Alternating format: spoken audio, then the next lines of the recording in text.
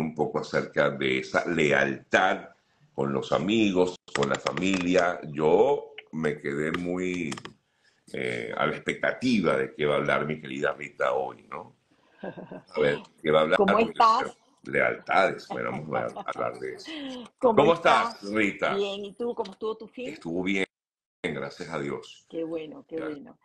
Gracias a Dios. Tú también te vi por allí, en, en la calle 8, andabas por allá. No, no, no, no, qué cosa No. tan bella montaron ellos, nostalgia cubana. Y déjame decirte eh, que mm, yo estaba ahí para pensando que si algún día vamos a tener un evento así, nosotros, de nostalgia venezolana. No, bueno, sí, tú sabes que ha crecido mucho la comunidad sí. venezolana aquí en Estados Unidos.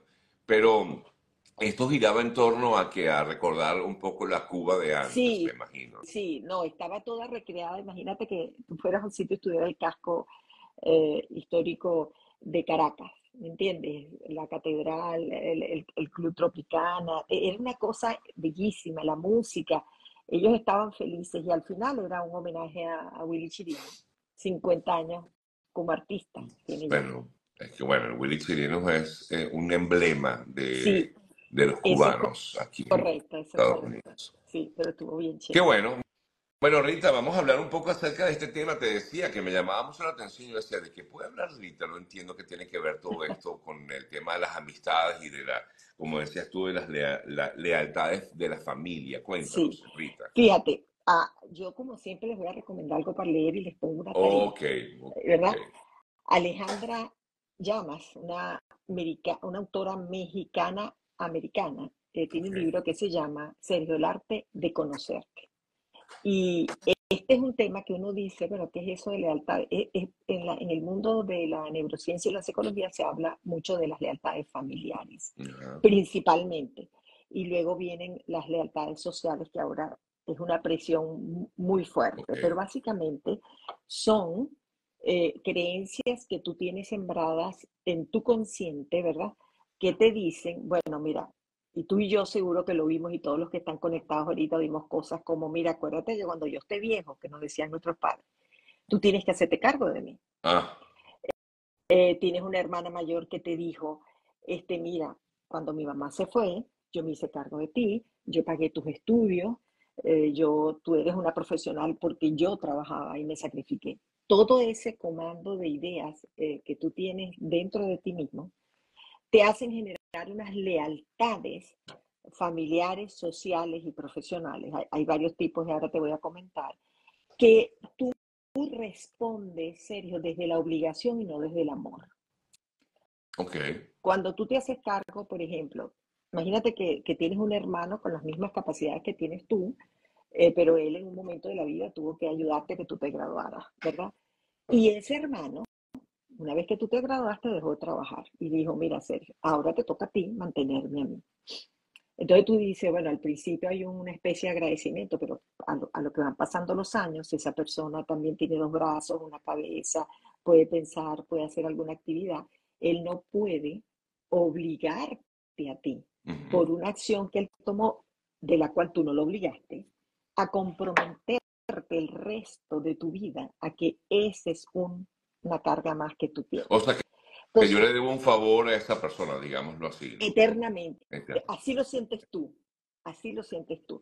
Lo mismo honrar a nuestros padres. Fíjate, si la obligación es desde el amor, tú lo haces con el pleno convencimiento de que es algo que sale de tu corazón, de tu alma. Ahora, si tú tienes unos padres y tienes que mandarle 15 y último, 15 todos los meses, pues esto se me están convirtiendo pesados, ahora les duele todo, y ahora tienen que hacer esto, y ahora me cuesta esto, y, y- y yo lo mantengo y lo tengo que vivir conmigo, y no es desde el amor, tú vas a cargar con frustraciones, mal humor, obstinación, no entiendes porque eso, esa es una responsabilidad tuya. Y fíjate algo, las lealtades, como nosotros somos seres sociales y andamos buscando pertenecer a algo, que nos acepten, que nos quieran, que nos inviten, estas, cuando tú desde paradigmas que traes no sabes diferenciar, Sergio, entre qué es una lealtad desde el amor y qué es una lealtad por obligación o por pertenecer, ahí es cuando tú ves relaciones que tú dices, yo no sé cómo estas dos personas están juntas y siguen juntas. yo no sé cómo esta persona trabaja para esta otra persona. Y es... te voy a pedir un favor, discúlpame que te interrumpa aquí en esta conversación. Tú puedes quitarte los audífonos porque te ah, escucho muy opaco. A ver si, si agarramos mejor señal eh, o mejor sonido. A ver, háblame, discúlpame. Ya va, no. Ajá. Ahora, háblame. ¿Ahora? Te escucho ah, mejor, sí. Es que, claro, a veces los audífonos opacan un poco el sonido. Claro, claro. Te escucho muy bajo. Gracias. No, Gracias. Tranquila, tranquila. Entonces, fíjate, lo que yo quería decir que cuando, y, que conste, Sergio, que tenemos eh, este, lealtades a la nación, lealtades a líderes que tú sabes que pueden llevarte a, situaciones, eh, en el caso de naciones, a cosas desastrosas. Tenemos eh, lealtad con, eh, con los negocios, lealtad con, con amigos, lealtad con pertenecer a grupos. Y cuando la lealtad, vuelvo a repetir, es por obligación, Sergio, y no por amor o por una convicción, tú empiezas a ceder en espacios que te pueden transformar de una persona leal a una persona cómplice. ¿Por qué? Porque si yo tengo cada vez que quiero pertenecer o cada vez que quiero ser leal con tu amistad o con tu grupo o con mi jefe o con la actividad y yo empiezo a sacrificar mi propia lealtad, es decir, soy, desleal a mí misma. ¿Por qué? Porque estoy haciendo cosas en las que yo no hubiera hecho si es que no estoy obligada a que tú no me saques de ese grupo o a que no me despida o creo en un líder que sé que está haciendo las cosas mal, pero yo paso agachadita para, para, que no me saquen, para que me inviten a las reuniones. Entonces, esa cuando tú tengas alguna vez alguna duda, y por eso les quiero dejar esta recomendación, hagan una lista todos los que están amablemente conectados hoy aquí y digan cuántas veces yo estoy negociando mi sí o estoy negociando mi no. ¿Qué quiere decir esto, Sergio? Cuando un no es más claro, ¿verdad? Que, tú, que, todos lo estamos viendo de afuera y tú no lo ves, tú tienes que cuestionarte y decir, ¿por qué yo no le digo a esta persona que no voy a seguir aquí, que no voy a seguir en este trabajo, que no puede seguir siendo mi socio, que no lo quiero como pareja? Y estoy disfrazando ese sí condicionado que me genera este mal sabor en la boca. Eso es lo primero que tú tienes que hacer. Lo segundo que tú tienes que hacer es que quien me, iba Quería, quería preguntarte antes de que me des la segunda, la segunda idea. O sea, el tema está en que, eh, supongamos, yo tengo trabajo con un amigo, ¿no? Vamos a decir, trabajo, o un amigo trabaja para mí, y la relación no está funcionando bien, la relación laboral. Yo quiero terminar mi relación laboral con él, pero no la termino por la amistad. Eh, es un poco eso, o sea, como... Eso es correcto, porque ahí, ahí, tú tienes un conflicto, ¿verdad? Tú tienes una lealtad con ese amigo, ahí se construyó algo. Tú tienes esa, eso en tu mente, en tu consciente, tú estás condicionado a decir, bueno, puedes ceder un poquito porque ya te ha pasado en tu núcleo familiar, porque vienes de una casa donde te decían, tú estás obligado a esto, tú estás obligado a esto. Y te voy a decir algo, cuando tú tienes ese condicionamiento, tú generas un patrón de duda que es a quién debo ser yo leal. Yo no puedo ser leal a un grupo, Sergio, donde yo sé que ahí está pasando algo que va en contra de mis valores. Tú has visto, Sergio, noticias, y hemos visto, y te las he visto a ti narrar aquí, de estas eh, este, mm, eh, grupos en los, en los colegios o en las universidades, que cuando tú entras a un a una organización de esa, te empiezan a dar licor y todo el mundo se burla y, hay muchachos que han hasta muerto. Y luego tú ves a ese poco de muchachos que están juzgando y tú dices, wow, ninguno de ellos fue capaz de decir, esto no está bien. Pero ¿por qué no dicen que eso no está bien, Sergio? Porque en ese momento tú dejas de pertenecer. Mm. Entonces, lo primero que tú tienes que identificar es que si realmente pertenecer a ese grupo está contribuyendo a tu crecimiento, está alineado con tus principios y valores y también algo súper importante, tú puedes expresar lo que te gusta y lo que no te gusta.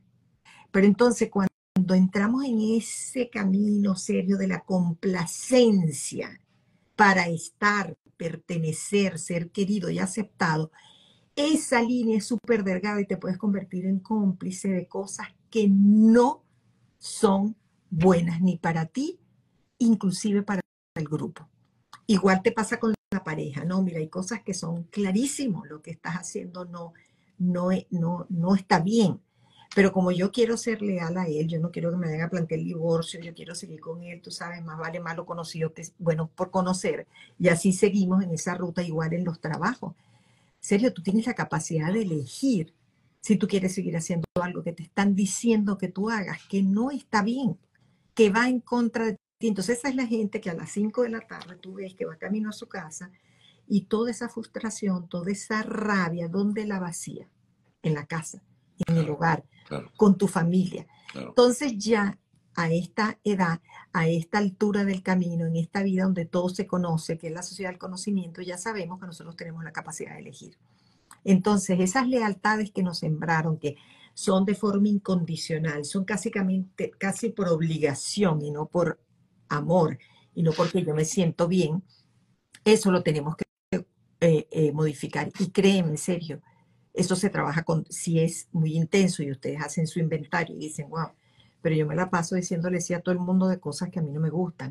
O, por ejemplo, en tu lealtad para, en los negocios, en tu lealtad política muchas veces, en tu lealtad de trabajo, qué es lo que tú, hasta dónde estás dando tú y cuántos te están dando a ti. Y algo que quiero que hoy se lleven de aquí, la más importante de todas, la que tú no negocias, ser, pero que tienes que estar claro, ¿verdad? Es la lealtad contigo mismo. Porque esa es la que te hace sentir bien. Esa es la que con la que tú vas a crecer. Tú no puedes lograr lo que tú te propones en la vida si tú eres desleal con tus principios, tus convicciones y tus valores. Créanme que no es que uno no ha pasado por eso. Uno está en situaciones donde uno dice, wow, este, yo aquí estoy como haciéndome la vista gorda para que algo suceda en la que yo no estoy de acuerdo, no me siento bien, no está bien. Y claro, cuando tú te vas a pronunciar o vas a manifestar, mira, esto no está bien, yo no quiero ser parte de esto, pues vas a perder algo. Pero tenemos también que aprender a lidiar con la incomodidad de una decisión que va alineada con tu lealtad y no por complacer a los demás. ¿Y cómo sé yo si la lealtad conmigo mismo es la correcta, eh, Rita, o estamos en el camino correcto? Bueno, pues lo primero que tú tienes que hacer es inventariar básicamente, Sergio, cuáles son tus principios y valores, qué es lo que para ti no es negociable. Si para ti la integridad, la honestidad, la fidelidad son algo que tú no quieres negociar y tus conceptos son los tuyos, están claros que es para ti la honestidad, porque a lo mejor para ti la honestidad es una cosa y para mí es otra. ¿Tú me entiendes? Entonces, cuando tú estás claro con eso, tú dices, wow, esto yo no lo voy a negociar. Y otra cosa que es sumamente importante, Sergio, y que nosotros lo sentimos, pero como nosotros no nos dedicamos tiempo a nosotros mismos y no nos paramos para entender, cuando algo te hace ruido y no te sientes bien, detente y di, esto está afectando mi lealtad conmigo mismo. Yo estoy siendo desleal conmigo mismo. Esa es la lealtad más importante. Entonces tú dices, eso no está bien. Y, nos ha pasado, o sea, en momentos en que tú dices, wow, yo no voy a seguir con esto, el humano está en esto, eh, todo muy bien, todo chévere, yo quiero mucho a, Pepito, a María, a todos, pero esto no es para mí. Yo ahí no me veo. Ese no es Sergio Novel, ese no es Rita Herrera. No nos vemos ahí. Entonces, mira, más vale temprano que nunca. Entonces, háganlo y tomen la, decisión de decir, no voy a sacrificar, porque créeme que cuando tu estado mental y emocional no está bien, Sergio, tú no vas a lograr ninguna de las cosas que te hayas propuesto al inicio del año que llamamos por el mes de mayo. Entonces pregúntate, porque mira, yo lo he visto, Sergio, en organizaciones. ¿A quién llamas tú tus verdaderos colaboradores leales? Aquellos que te permiten, que son, como yo digo, eh, reuniones de focas aplaudiendo o aquellos que te retan a reflexionar sobre una decisión que no es correcta. Entonces, quiero pedirles a todos los que de, manera, ¿sabe?, incondicional y con mucho cariño nos oyen esta conversa los lunes, que es un ejercicio sencillo. Hazte varias preguntas como, por ejemplo, estoy diciendo más sí que no en circunstancias donde lo es clarísimo que tengo que decir no. ¿Qué es lo que realmente yo siento cuando estoy frente a estas propuestas o frente a esta relación o cuando algún familiar todos los meses o semanas me recuerda que soy su responsabilidad? ¿qué, es lo que estoy sintiendo? ¿De verdad es mi responsabilidad, lo hago desde el amor o no? Un día entendí que no. Y créeme, tomar esa decisión no es fácil, porque tú vas a romper con una lealtad que tú sientes que además es cuando tomes la decisión de romperla es culpa tuya todo lo que va a pasar. Entonces tú tienes que trabajarte y decir, bueno, esto lo voy a hacer por estas razones, porque ahora entendí porque no me estoy moviendo donde tengo que moverme, porque ese entorno donde yo estoy metida en este momento no me va a hacer crecer. Y, y fíjate que muchas veces uno dice, bueno, más vale pájaro humano que sin volando. Yo mejor me quedo aquí, paso agachada, mejor no le llevo la contraria a, mi compañera de trabajo, mejor me quedo callado cuando dicen estas cosas. Si no pagan las deudas que tienen, bueno, no. Yo, yo, soy, yo estuve consciente de que este pedido se hizo, de que este trabajo se hizo, pero ahora están negados a pagar. Mejor no digo nada. Créeme que vas por la vida con eso en tu mente y ese peso atrás como un morral. Entonces, abre en el momento oportuno, di lo que sientes en el momento oportuno. Y si te tienes que ir de ese lugar es porque no perteneces ahí. Yo sé que la gente está pensando serio, eso es muy fácil, Rita, pero cuando uno tiene que pagar el 15 y el último, esto no está fácil.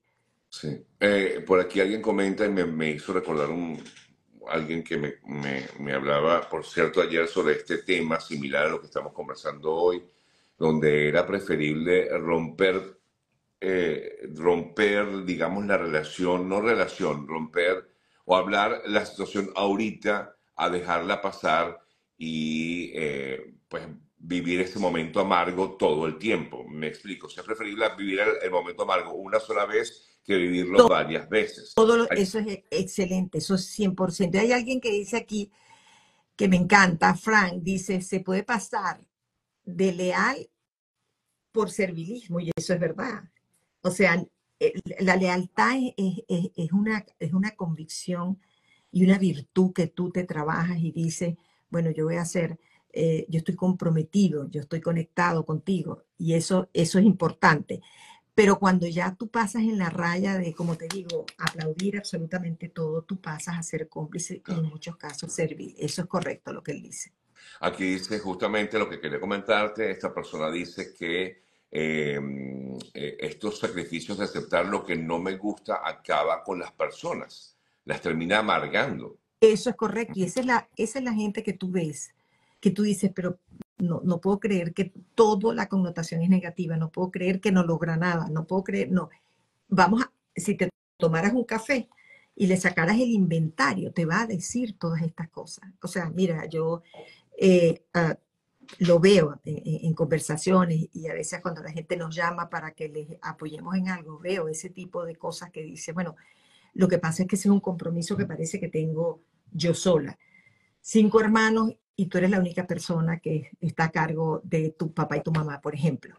O son, es una familia grande y hay una prima que tiene alguna necesidad, pero tú eres la única que te llaman a ti, eres la única que entonces ya eso dejó de ser por amor y por cariño y porque tú sientes que es una responsabilidad en la que tú puedes contribuir, es, es una obligación. Y acuérdate que todo lo que haces obligado genera malestar, es lo que tú dices, amargura, frustración. Entonces, tenemos que evaluar serio y hacer nuestro inventario, como yo siempre les digo, un ejercicio que no toma más de 10 minutos, cómo están mis lealtades a la familia, a mis socios, a mis jefes, a mis compañeros de trabajo, al grupo en que pertenezco. O sea, porque todos tenemos el, grupo con, el que hacemos la cata de vino, el grupo con el que jugamos golf, el grupo del tenis. Ok, en esos grupos que son súper importantes las relaciones sociales para todo lo que es tu balance emocional y, y mental. Sí son importantísimos siempre y cuando tú saques de ahí algo positivo y, que te nutra como persona. No, y, que definitivamente tiene que esa lealtad salir del corazón, un poco lo que tú decías al principio, ¿no? Y no una obligación. La lealtad sale de aquí y no es una obligación. Leyendo algunos comentarios, lealtad es no fallar siempre y cuando sea apropiado y no te perjudique. Eso es correcto. Eh, otro comentario, al hacerlo con hermanos, sobrinas y romper esa lealtad moral, rompes la familia, pregunta. Claro, no. Siendo cómplice. No, no, no necesariamente, pero a veces, tú sabes, uno a tiempo te dice, tú puedes decir a tus hermanos, mira, está bien, yo tengo cinco años en esto, pero ¿cómo, se van a integrar ustedes? Porque ya yo no puedo más. eso lo puedes conversar. Me encanta una persona que dice aquí, una manera de saberlo, es como te sientes cuando haces algo. Tu cuerpo es tu guía. Si en tu cuerpo se siente bien, entonces va a estar bien. Eso me encanta, me encanta, Sergio, porque es que andamos en este mundo de carreras, de inmediatez, de rapidez, sí, me meto, me anoto, salgo, digo, pero el cuerpo es, una cosa maravillosa. O sea, cuando tú sales, eh, eh, hay gente que, por ejemplo, lo manifiesta en el estómago, dice, wow, tengo ardor en el estómago de la reunión a la que acabo de asistir, no me gustó. Y tú sabes, tú compras un poquito de tiempo, pero como la conversación que tuviste el fin de semana, es cierto, compras tiempo hoy y prolongas pongas ese padecimiento por una, dos, tres, cuatro semanas. No te mereces eso. La paz, por ahí alguien decía, la paz, la paz, la paz, eso no se negocia. No se con paz, con una estabilidad emocional, Sergio, tu mente brilla. Y ahí es donde tú la quieres tener para lograr todas las cosas que nos planteamos para el 2024. Aquí comenta, tratar de decir las cosas que uno como empleado, por ejemplo, en el caso laboral, siente que deberías, debería ser, pero en el trabajo te pone de loco eh, y te pueden por, por, exigir y reclamar lo que es correcto. Eso es correcto. Mira, yo siempre le digo a la gente, prepárate para las conversaciones difíciles. Esas no se pueden improvisar, serio. Las demás pueden ser media, media, tú sabes, pero esas no las improvises. Y te voy a decir por qué. Porque el problema nunca es el fondo, es la forma en que tú lo planteas. Tú tienes razón, si algo está mal, plantealo. Busca la forma no retadora, no de exigencia, simple y llanamente, mira, yo quiero dar un feedback, yo quiero que ustedes sepan cómo me estoy sintiendo, yo quiero saber qué oportunidad hay de que mejoren esto, porque la verdad es que no me parece justo. Usen los términos y las palabras que le disparen la atención a ese empleador, porque eh, los empleados son nuestros clientes internos. Aquí, si están conectados líderes, dueños de empresas, por favor, pónganle el estetoscopio a la organización. ¿Cómo se la ponen? Escuchando a sus colaboradores. Y ellos te van a decir algo que tú no estás viendo. Ellos tienen, ¿sabes? Son los que están en la parte operativa. Ellos tienen la relación con el cliente. Escúchalos. Pero si te sientes amenazado, ¿verdad? Haz el ejercicio de prepararte para la conversación. Pero y si ya ahí no es tu entorno, sé estratégico. Sigue trabajando y aplica, aplica, aplica, aplica en todas partes. Porque a lo mejor te sale una mejor oportunidad. Eh, ¿cómo, ¿Cómo pudiéramos, eh, o cómo pudieras en todo caso, Rita, resumir un poco todo esto que hemos hablado o que has comentado en la mañana de hoy? Que sepan que las, las lealtades familiares, sociales, eh, de negocio, existen, a lo mejor no es un tema que se habla mucho, pero existen. Les recomiendo el libro del arte de conocerte de Alejandra Llamas. Ahí ella lo explica muy bien. Y además de todo, tienen que hacer el inventario, Sergio. Digan ahorita qué los tiene incómodos. A lo que termine esta conversación con Sergio, regálenme esa tareita, mándenme una notica y díganme, Rita, tú sabes que me senté y me di cuenta de que sí, tenía un problema con mis lealtades familiares sociales. La aceptación es una necesidad humana porque somos seres sociales, pero no la condiciones a hacer algo que no te gusta o no va contigo. Entonces,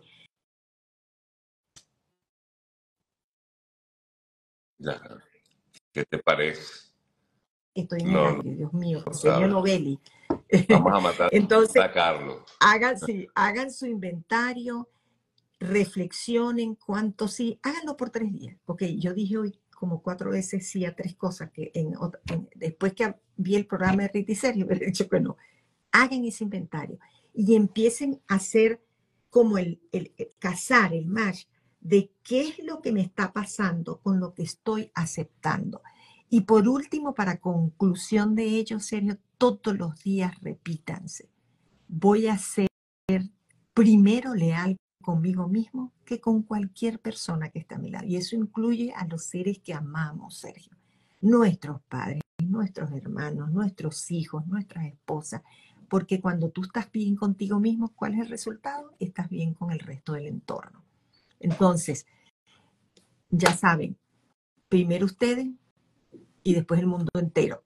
Pero hagan, anoten, hagan su inventario, háganlo desde el corazón, sean honestos y pregúntense, esta lealtad ya no es lealtad, es complicidad. Esta lealtad ya no es compromiso, esto es obligación. Y si es obligación, no funciona. Ni para ti ni para el que se lo estás dando esa lealtad. No, y que termina después eh, de una manera negativa si lo sientes ya como una complicidad y no como una lealtad que nace del corazón. Eso, oye, me encanta. Wow, Sergio, ¿te fijas? Repite eso. No, bueno, salió del alma. Salió del alma, salió del alma, pero 100% de acuerdo, es verdad. No es, y entonces lo terminas mal, no lo terminas desde el corazón. Lo terminas mal porque ya lo dejaste que dañar y se estirara demasiado, definitivamente. Le voy a, le voy a enviar este, este programa a alguien que sé que está pasando por este momento en particular. Ah, ay, vale. Y, a la orden. No, dile que lo, lo, está viviendo en este momento, está muy, pero muy, eh, o sea, está, esta persona está muy complicada, entonces, digamos, está eh, conflictuada ah, por esta situación. Claro, claro, y mucha gente que conozco así también, eh, dile que, no, que, me escriba, que le doy algunos otros tipos, ¿oíste? Claro que sí. Rita, gracias. gracias por esto, como siempre. De verdad que me encanta la semana subir, empezar la semana así, con, con, con cosas positivas y, con cosas que nos llenan eh, el alma, el cuerpo, la mente. Sí, sí, de verdad que sí. Y gracias por invitarme porque me pones a hacer la tarea. Yo lo sé, yo lo sé. Fuerte abrazo, Un besito, Feliz semana. Chao, mi amor. Gracias.